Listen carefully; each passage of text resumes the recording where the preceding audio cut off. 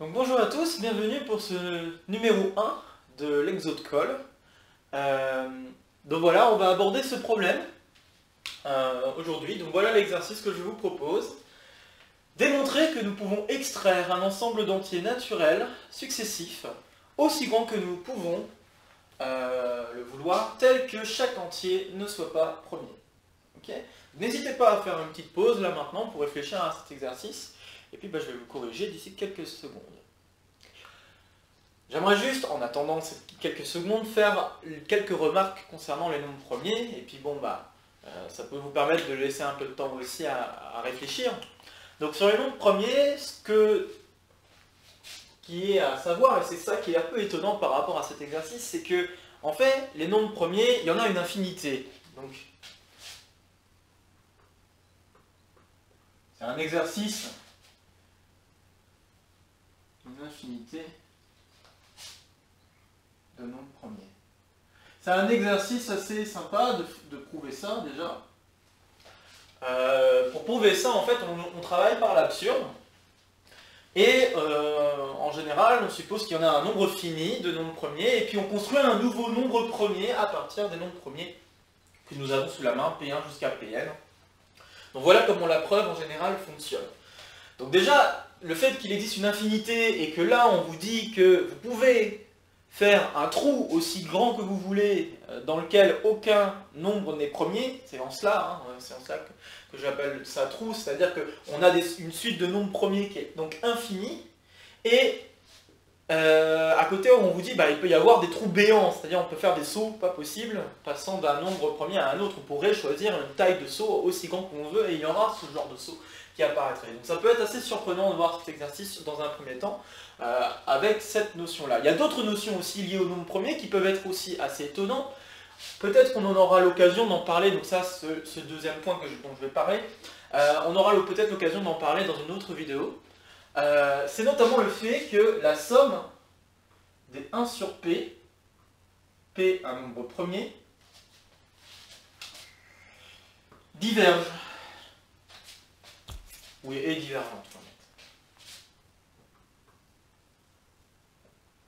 D'accord Donc c'est ça, ça aussi, en fait, c'est une notion. Donc, le fait de regarder la somme des 1 sur A, d'accord Je vais peut-être faire euh, ça entre parenthèses. Le fait de prendre un ensemble inclus dans les entiers naturels et regarder la somme des 1 sur petit a, donc faire la somme des inverses, de cet ensemble. Euh, savoir si c'est fini ou pas. Donc en général, si cette somme est infinie, on dit que l'ensemble est dense. A est dense dans N. En fait, cette somme-là d'inverse définit ce qu'on appelle une densité, donc sur les entiers naturels. Vous connaissez, pour certains d'entre vous, vous connaissez la notion de densité de Q dans R, la notion de densité peut-être même dans un cadre plus euh, général euh, d'un ensemble dans un autre, euh, à l'aide de caractérisation séquentielle ou des choses comme ça. Voilà. Je ne veux pas rentrer trop dans les détails là, parce que ce n'est pas le but de cet exercice-là, mais ce que je veux dire, c'est qu'il y a aussi une notion de densité sur les entiers naturels, et cette notion de densité est basée fondamentalement sur cette somme, à savoir si elle converge ou diverge. Si elle diverge, on considère que l'ensemble des entiers qu'on regarde est dense. Ok, donc je vous dis donc que l'ensemble des nombres premiers est dense, et pourtant, cet exercice semble nous dire qu'il y a une infinité enfin qu'on ait la possibilité de faire euh, une infinité de trous si vous voulez, ou un trou aussi grand que vous voulez, à tout moment dans notre suite d'entiers naturels, euh, dans notre suite pardon, de nombres premiers, tel que, bah, voilà, c'est quand même, je trouve ça assez, assez étonnant connaissant ces notions là à côté. Et j'aimerais parler d'un dernier point aussi, qui peut être aussi intéressant et qui, a priori, va aussi à l'encontre de cette propriété-là. Euh, que, je vous, demande de démontrer pour cet exercice. La dernière chose dont euh, j'aimerais parler, c'est euh, le théorème de Dirichlet. Donc théorème de Dirichlet, alors non, c'est pas le théorème de Dirichlet pour les séries Fourier, mais il existe un théorème de Dirichlet pour les nombres premiers.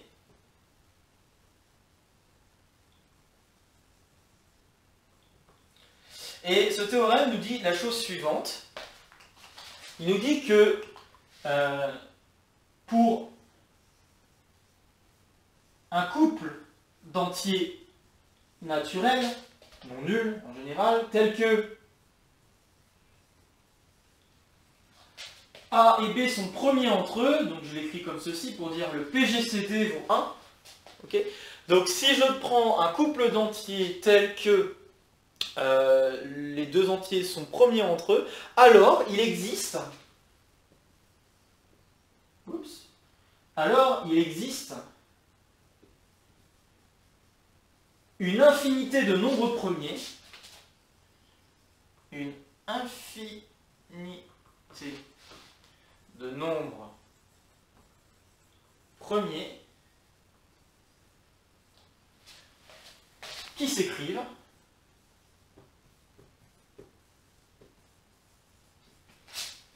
A plus B fois N avec N un entier naturel. Donc c'est quand même un théorème aussi très fort qui nous dit que si on prend une suite arithmétique, donc une suite arithmétique composée d'une euh, raison qui est premier avec euh, qui est un nombre premier avec le, le, nombre qu'on aurait choisi en premier terme de notre suite. Si on a cette configuration-là, alors on a une infinité de nombres premiers qui vont s'écrire sous cette forme. Donc ça veut dire que notre suite va passer par une infinité de nombres premiers. Donc ça aussi, ça peut donner l'impression qu'on va à l'encontre de cette propriété-là, puisque bon bah là, ce que je vous dis, c'est que si je donne un saut particulier, donc si je prends un entier, un B, hein, justement, qui correspondrait à un saut particulier en partant d'un nombre A, ok, eh bien, à chaque, enfin, je, on a montré, donc, c'est le théorème de Dirichlet qui dit que on va avoir une infinité de nombres premiers en passant par ce genre de suite. C'est quand même aussi assez étonnant d'avoir ces trois propriétés qui ont l'air d'aller à l'encontre de ce qui est à démontrer ici. Donc euh, voilà je trouve ça assez surprenant comme euh, exercice et euh, bon bah nous allons maintenant le corriger en espérant vous avoir laissé suffisamment de temps pour y réfléchir. N'hésitez pas encore une fois à faire pause sur la vidéo pour vous laisser le temps d'y réfléchir avant que je donne la correction, puisque c'est à partir de maintenant que je la donne.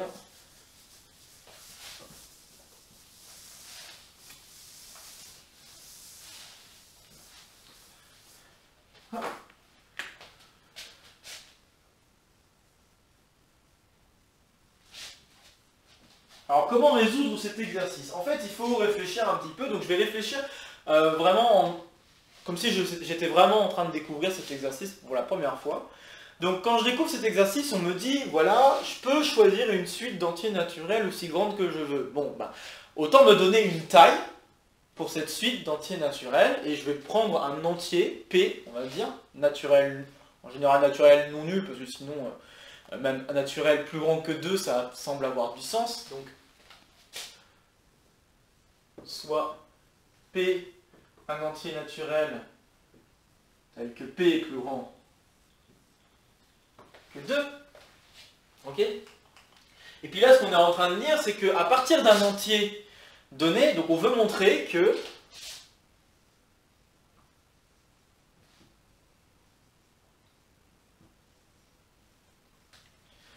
en fait qu'il existe, on va dire plutôt, on veut montrer qu'il existe un entier naturel, je je vais peut-être pas l'appeler n, je vais juste l'appeler grand n pour l'instant. D'accord?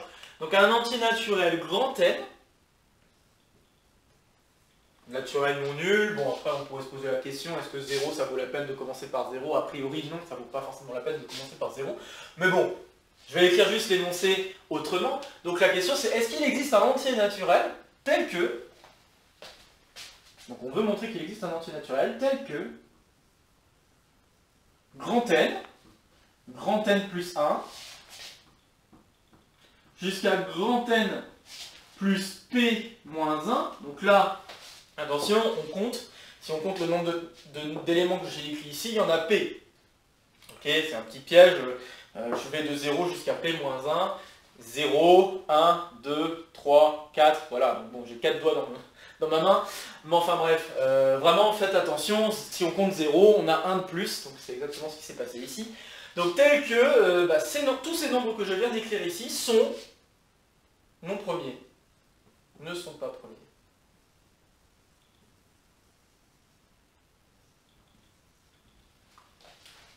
Ok.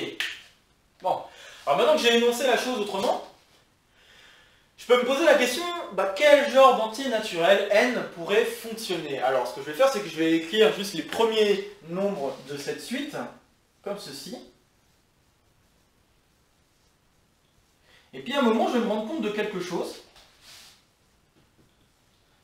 Et c'est ça qui va permettre de donner un exemple, puisque on ne cherche pas forcément à prouver euh, qu'il y ait des suites particulières, mais en réfléchissant un petit peu à ce qu'on pourrait euh, proposer, eh ben on va tout doucement trouver en fait bah, un, exemple de valeur de grand N qui pourrait fonctionner.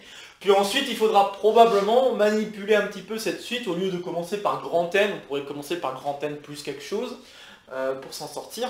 Donc faut pas s'en faire, ça, ça pourrait se, se remodifier pour s'assurer que tout va bien. Mais bon, voilà les premiers termes de la suite. Ce qu'on pourrait remarquer, c'est que bon, grand N, donc dans cet exemple, a priori, grand N, c'est pas forcément un nombre un nombre premier. Donc apparemment, si on veut que ça marche, il faudrait que grand N ne soit pas un nombre premier. Grand N plus 1, bah, faudrait que lui non plus soit pas premier, mais c'est pas évident de se dire vraiment que euh, le nombre que j'ai pris, puis celui plus 1 doit, être, doit pas être premier. C'est pas forcément évident de voir ce qui se passe sur les deux premiers termes en fait. C'est ça de manière générale. Par contre, si je commence à regarder à partir de n plus 2, je peux remarquer quelque chose. Je peux remarquer que si grand N est divisible par 2, euh, j'allais mal écrire. Donc si 2 divise grand N, bah 2 divise, si 2 divise grand N, alors 2 divise grand N plus 2. Et puis si 3 divise grand N, bah, je vais avoir que 3 divise grand N plus 3. Si 4 divise grand N,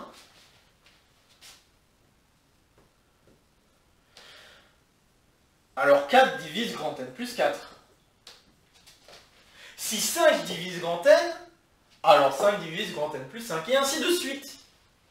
Alors ceci commence à nous donner une idée de quel entier naturel grand N on pourrait choisir.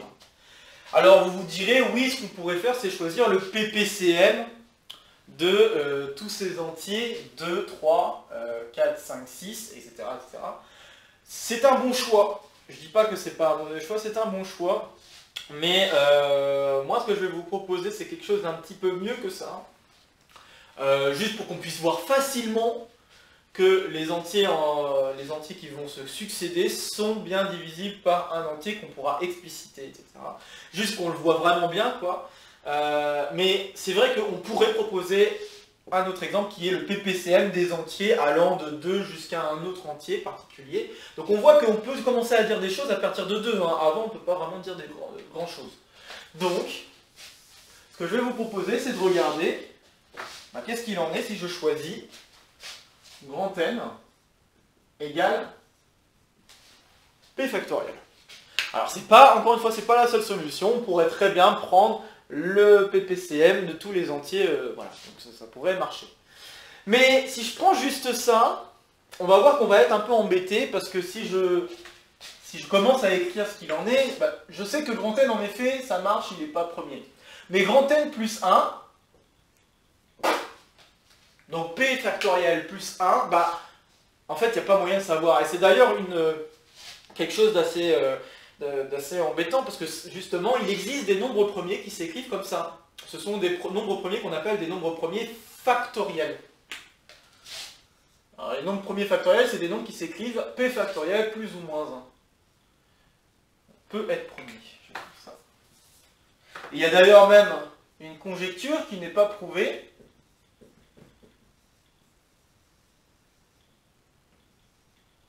Il y a même une conjecture qui n'est pas prouvée à propos de ça, qui est de montrer qu'il y ait une, infinité de nombres premiers qui s'écrivent comme ça. Soit avec un plus, soit avec un moins. mais qui s'écrivent soit p factoriel plus 1, soit p factoriel moins 1. Il y a une infinité de nombres premiers qui s'écrivent comme ça. C'est une conjecture, ça n'a pas été prouvé. Euh, mais bon, on voit que ça, ça pose problème. Alors, bah, pour éviter que ça pose problème, ce qu'on peut faire, c'est au lieu de commencer avec p factoriel, bah, on va faire en sorte qu'on ne soit pas embêté par le plus 1 et commencer donc avec p factoriel plus 2. Alors, si je commence avec p factoriel plus 2, qu'est-ce qui va se passer cette fois? Euh, Je vais effacer un tout petit peu.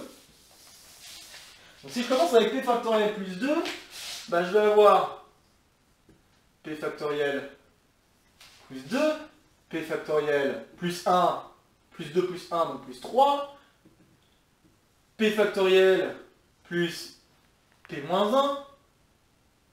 Donc p moins 1, attention, c'est pas, pas le dernier. Hein. On a celui-là, on a p factoriel plus p. Et puis, donc si je fais attention, comme j'ai commencé avec n plus 1, je vais finir avec euh, bah, n plus p, quoi. Donc autrement dit, je vais me retrouver avec... Enfin, il faut, que j'ajoute ça en fait euh, à ce que j'ai, et donc à la fin, je vais me retrouver avec p factoriel plus p plus 1. Ok, donc je me retrouve avec ça. Tous les entiers 2 ici, ça marche. 3 ici, ça marche. P-1, ça marche aussi, puisque P-1 divise P factoriel. P aussi, ça marche. Mais lui, aïe Ça marche pas. Enfin, il est possible que ça marche pas. Euh, on ne sait pas forcément, mais il est possible que ça marche pas. Parce qu'il se peut que P plus 1, ce soit un nombre premier. Et bah, par rapport à P factoriel, bah, P plus 1 sera premier par rapport à P factoriel. Si P plus 1 est un nombre premier. Donc euh, bah, il faut faire une dernière petite manipulation pour que tout se passe à merveille, parce qu'on est vraiment pas loin hein, au final, on a déjà plus ou moins, on pourrait se dire bon c'est bon, je vous ai fait une suite de longueur P-1 et c'est gagné quoi, il faut juste réindexer les choses. Bon bah autant que je réindexe maintenant, et pour réindexer les choses, pour que les choses se passent très bien, je vais mettre P plus 1 factoriel plus 2. Alors le problème avec le PPCM, c'est justement, comme je le disais, que ça n'aurait pas été si évident de voir ce qui se serait passé par exemple sur les derniers termes. On, aurait peut-être plus de difficultés à le voir. Donc euh, la manipulation, elle est quand même plus facile à faire si on travaille avec le factoriel que si on travaille avec le PPCM. Donc cette fois-ci, si je vous mets P plus 1 factoriel, vous pouvez vérifier que c'est pas très long. Hein. Donc si je mets P plus 1 factoriel à la place de P factoriel, cette fois-ci, ça marche.